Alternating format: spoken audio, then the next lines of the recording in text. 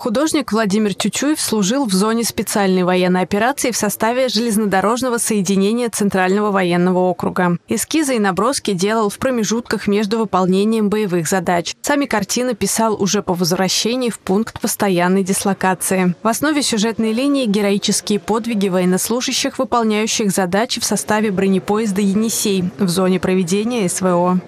Просто даже этим воздухом подышишь, э, с парнями там пообщаешься, бронежилет на себе поносишь, каску на себе поносишь, потом картины, они, они чувствительнее. Сейчас э, особенно такое время наступило, когда э, не только песни, не только концерты, не только, не только это нужно, но и живопись, картины нужны. А эти картины, тем более, они остаются на долгие времена.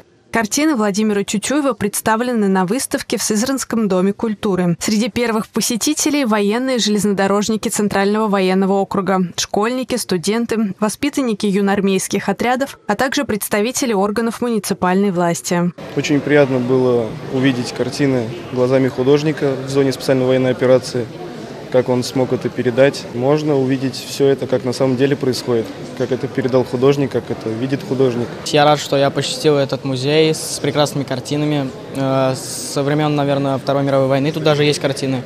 Ну, типа по мотивам написанные. А так, э, мне все понравилось в общем. Для посетителей художник сам проводит экскурсии по экспозиции и делится историями о своем боевом пути. Галина Топилина. События.